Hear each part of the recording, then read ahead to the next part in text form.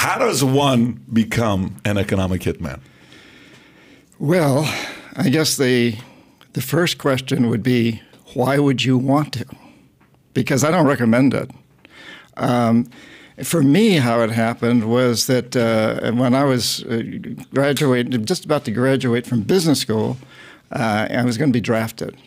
And I really didn't want to go to Vietnam. I didn't really want to kill Vietnamese people or be killed by them. So I was looking for a way out. And I was married at the time to a woman whose father was very high up in the Department of the Navy, and his best friend was very high up in the National Security Agency, which was draft deferrable. And he arranged for an interview. So I go in for this interview, uh, spent a couple of days on, on a lie detector, and I was sure I failed. Uh, for one thing, when I had been in Middlebury College, I, I uh, uh, there was an incident with an Iranian, if you can believe that. Be careful with those guys. Uh, well, the truth, truthfully, this guy carried a knife. I mean, a little tiny jackknife, but he showed me how he put his, his thumb way up the blade so that just a little bit of it touching. He'd already shown me this. He'd been a professional soccer player at the Club of Rome in, in, in, in, in Italy, and then gone to, and then gone to Middlebury College. And we, I was in, uh, we were in a bar together. And, and uh, what year is this? Uh, 64. Okay. And uh, anyway, make a long story short, a, a, big, heavy farmer sucker punched me, knocked me across the room, and Fahad, my, my friend from Iran, comes up and slashes him across the cheek. Lots of blood comes out. He's got this little tiny, it's just a pinprick really, but it looks bad. It feels bad. And the farmer's screaming his head off, and Fahad pushes me into the men's room and out the window into Otter Creek, this river that runs by. and we make our way back to the dorm at Middlebury. And uh, the next, and I was pretty drunk. The next morning, there's a knock on the door, and it's the cops. So they pull me into the police station. And uh, as I'm sitting there waiting to be interviewed, another one's escorting Fahad out. They doesn't let me talk to him. They put, put take me in and they start questioning me. Did you see Fahad with a knife? And I lied. I just lied and lied and lied. I feared Fahad more than I feared the police, quite frankly. I too fear Iranians more than I fear the yeah. Well, police. police. I've always been told don't sit too close to them. You know, I, I think this is good, enough, good enough over this thing. Yeah, I'm worried yeah. about him, not me. Yeah, yeah. I got this between. I got a knife in my left hand right now. Don't worry about that. anyway, you know, so now I'm taking this this NSA uh, lie detector test, and they asked me, "Have you ever had a have you ever been interviewed had a run in with the police?" And I had to tell them, yeah, I lied to the police. So I figured, well, this is this is going to screw me. And then they asked me how I feel about Vietnam. I say, well, I, I don't I don't intend to go. And so I figured I failed miserably. Got it. But no, they hired me. And you know, uh, oh, they offered me a job. And you know, the the truth of the matter is, they were very happy that I had the guts to to, to lie to the police. Plus, Fahad's father was a general in the Shah's air military, mm. and worked for the CIA. So here I was, friends with a guy whose father was in the CIA in Iran, I was good material. And they knew that we had already lost the war in Vietnam, basically. It wasn't public knowledge, really. There was a lot of controversy. Mm-hmm. But the NSA knew, so they didn't care that I didn't want to go. They were pretty smart of me not to want to go there.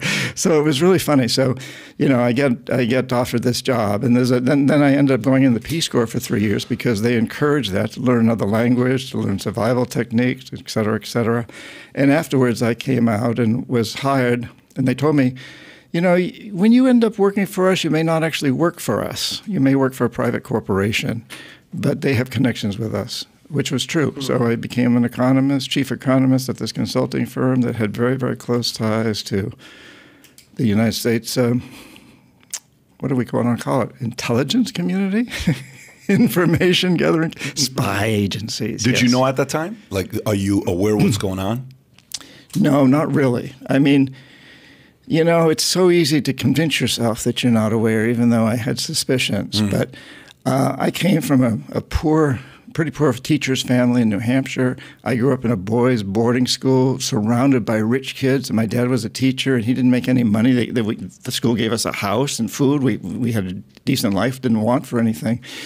But I was surrounded by kids who came from Tehran and Paris and Buenos Aires and Park Avenue in New York.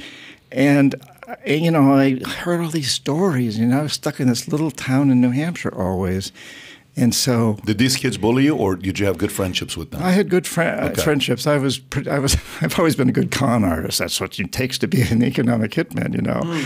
But, and I was captain of two sports teams and so oh, on. Oh shit! Yeah. So, but but I always had this inkling to go to Tehran, yeah. to go to Paris, to go to these places. And suddenly now, as I get into this business, I'm flying first class around the world. I'm meeting with presidents. I'm doing all the things that I dreamed of doing. So I really didn't want to know the truth, even though when I, the more and more I began to suspect it.